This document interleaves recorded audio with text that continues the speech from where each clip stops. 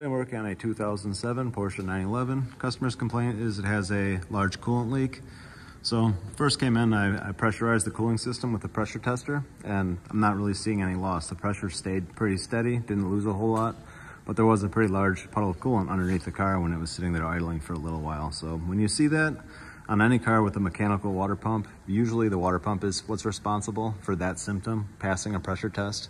But then when you run the car, losing coolant, it's one of the only things, you know, that, that actually moves in your cooling system. So if you have a, um, you know, the bearing is bad on the pump itself, it will, uh, there'll be movement there, but only when it's running. So what you can do is, let me see if I can get this situated, is get a little screwdriver and pry underneath the pulley on this one and you'll see this one, the, the whole pulley is just, I don't know how well this is coming through. Let me see if I zoom in.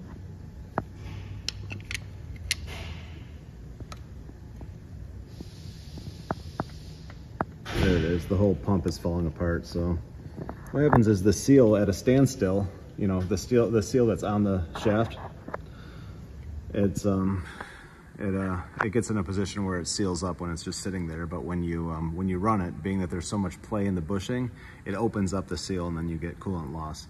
So just something to look for if you're not losing any um, pressure when you uh, pressurize the system, it's you check your water pump.